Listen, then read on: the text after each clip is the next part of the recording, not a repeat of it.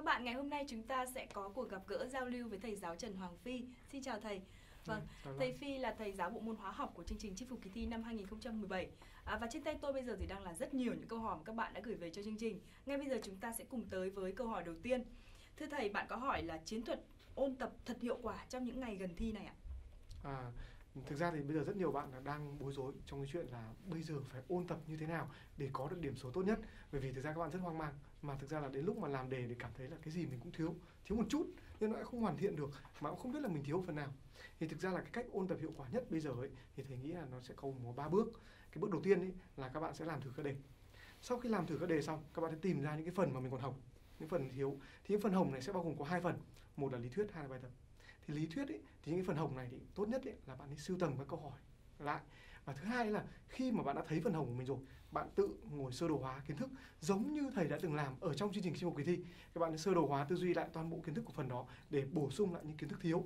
Và cái hay nhất là khi các bạn giải đề ấy, thì nhớ kỹ thầy nhá cái bước giải đề này này là bạn phải chọn những cái đề mà tin tưởng thứ nhất là của các sở thứ hai là của các trường mà có uy tín đặc biệt là các trường chuyên thì chọn những cái đề như vậy thì chất lượng rất là tốt. Thì các em làm đề em sẽ thấy ngay cái lỗ hổng của mình vì cái đề nó rất là bám sát cấu trúc. Thế là sau khi đã tìm được lỗ hổng thì sẽ vá lỗ hổng bằng cách là lý thuyết thì tổng hợp lại. À, và còn bài tập thì tốt nhất là các em nên luyện thật chắc những dạng bài tập mà thầy đã chia sẻ trên chương trình chinh phục kỳ thi. Và thứ hai là các em sẽ làm cho mình một quyển vở ghi chép. Vâng. những dạng bài tập em tập hợp hết lại em tập hợp từ tất cả các đề thi thử từ tất cả các nguồn là em tập hợp lại một dạng bao nhiêu bài đấy em làm đi làm lại đến khi nào thực sự tự tin vâng. thì lúc đó em sẽ ôn tập rất hiệu quả. Vâng. À, cách làm đề là một trong những cách mà chúng ta có thể ôn luyện một cách tổng quát nhất đúng không ạ? Đúng rồi. Vâng. và thực ra là mình hiểu được rõ là mình yếu phần nào đúng và rồi. mình bổ sung vào đó đúng rồi À, chúng ta sẽ tới với câu hỏi thứ hai cũng là một câu hỏi về chiến thuật ạ. Nhưng lần này là chiến thuật giải đề để đạt điểm số mong muốn. Tuy không biết là bạn muốn đạt điểm bao nhiêu. Và thì thực ra thì uh, điểm số thì có rất nhiều khác nhau vâng. và cũng phải phân bổ thời gian khác nhau với tùy bạn. Thế nhưng bạn nào mà bạn ấy muốn 7 điểm chẳng hạn thì bạn ấy 7 điểm thì rõ ràng là bạn ấy không cần thiết bạn phải làm hết cả đề.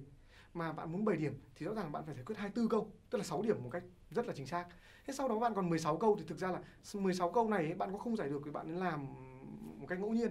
Thì bạn có xác suất 1 phần tư là có 4 câu thì bạn đã đủ điểm rồi.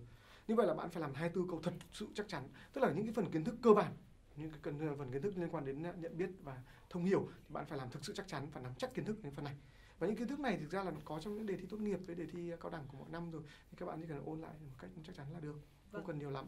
Còn điểm số cao hơn thì sẽ cần phải ôn tập nhiều hơn. Vâng. Vậy là chúng ta đã có những cái chiến thuật rất là hiệu quả ở trong phần đầu tiên của chương trình. Và ngay bây giờ thì chúng ta sẽ tới với phần 2 của chương trình. Thầy phi sẽ giải đáp rõ hơn những câu hỏi cụ thể của các bạn